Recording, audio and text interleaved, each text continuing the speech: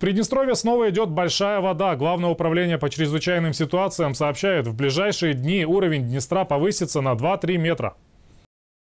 Подъем реки ожидается пока на участке от села Грушка до Дубасар. Спасатели предупреждают, в низинах в пойме реки возможны подтопления. Днестр растет из-за увеличения сброса воды с украинской Новоднестровской ГЭС. Спасатели следят за ситуацией на реке.